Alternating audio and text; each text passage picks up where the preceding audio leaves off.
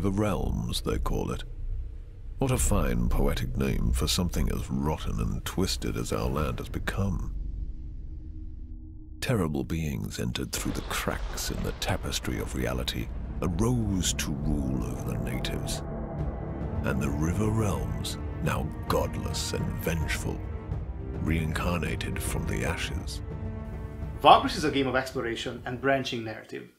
It harkens back to the classical turn-based role-playing games and plunges the player into a cruel, dark, post-apocalyptic fantasy world. Vagrus was born out of over 20 years of role-playing with a group of friends, um, using several iterations of D&D. The many stories we played through over the years brought us a ton of joy and sent us on epic adventures. Also, the setting kept expanding to the point where we asked ourselves, shouldn't we find a way to bring this to a larger audience? And so, the concept of Vagrus was born. The Riven Realms are probably best described as post-apocalyptic dark fantasy. It used to be a more stereotypical fantasy setting until something really bad happened.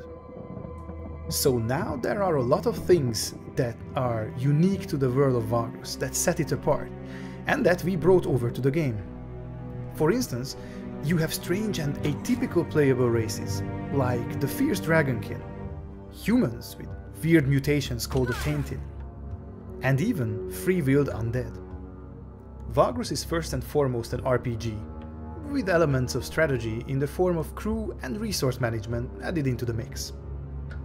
All aspects of gameplay are turn-based, because we believe that it is essential to this type of strategy. It's also important that you play as a leader, so you are responsible for a crew. And this feeling, uh, a group of hardy people against a cruel world, is what we were going for.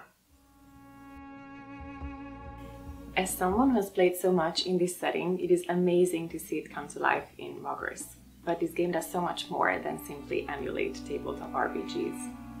We usually divide gameplay into four main segments. The first one is exploration on a huge campaign map.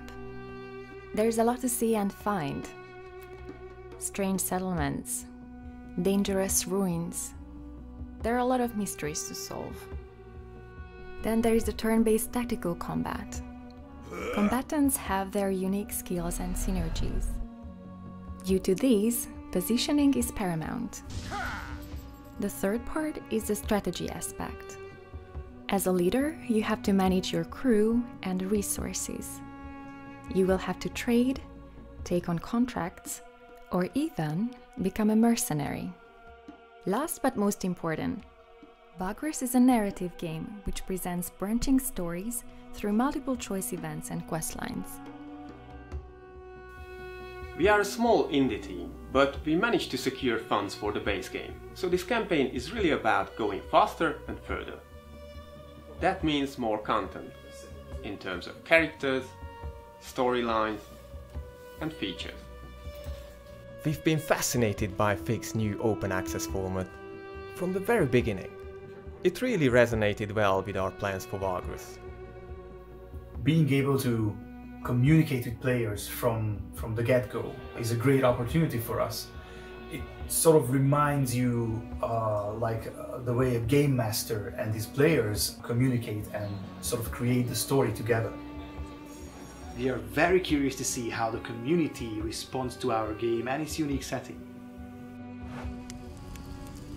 And you are a Vagrus too, are you not?